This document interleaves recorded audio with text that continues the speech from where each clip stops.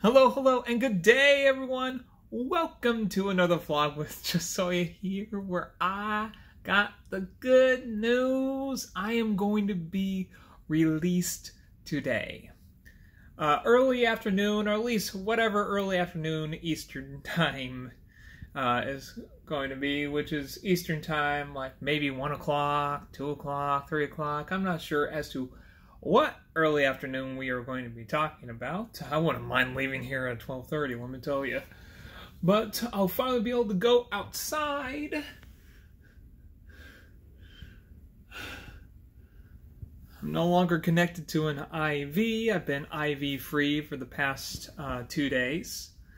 Uh, so no longer connected any machines. I got freedom of movement. I can move on my own. I don't need any assistance with any of the nurses, which by the way, the nurses here were amazing.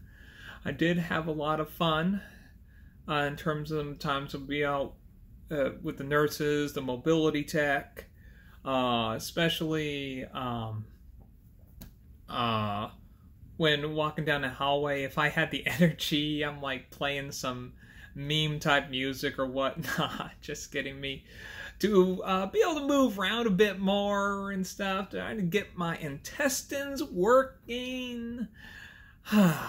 it was it was a lot of fun, and even one of the mobility techs actually danced along with me down the hallway. It was awesome.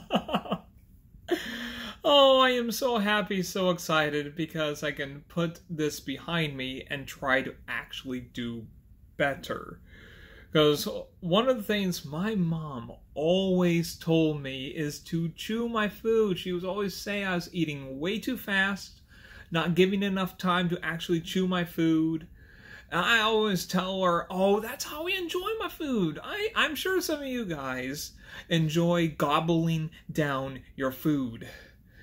And let me tell you, my body didn't really like that all too much. In fact, I've always had, I mean, I eventually developed uh, acid reflux at an early age. And well, and then my gastrointestinal issues that I had back when I was 16 weeks coming back to haunt me last year. And then this time yet again, except this time it's uh, required surgery, which was thankfully only done laparoscopically. Uh, so they didn't have to open me up. But still, it's going to be a bit uh, more time to recover. Uh, but aside from that, I mean, I'm going to take about five days off from work after returning just to kind of get myself ready to go back to work. Because uh, I can't very well as much eat with my clients and all that uh, especially with my limited diet. I mean, I could always bring a lunch, but I always, when going to a restaurant, I don't really like bringing my own lunch uh, because, well, I just find it's a little bit disrespectful to the restaurant staff. I don't know. It's it's just, it's just a me thing. It's just a me thing here.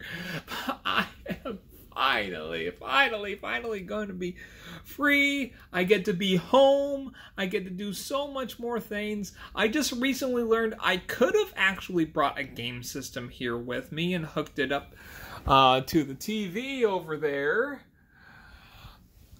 But, well, do I really want to risk, given that you can't lock the door? Uh, someone to just waltz in here, unhook it, and then just walk off with it. I mean, I guess I could have brought my retro uh, three port console for Sega Genesis, Nintendo, and Super Nintendo and just had a lot of fun with that. Hey, maybe even the nurse staff would have uh, joined in a little bit. Maybe did like a, a brief race on Mario Kart.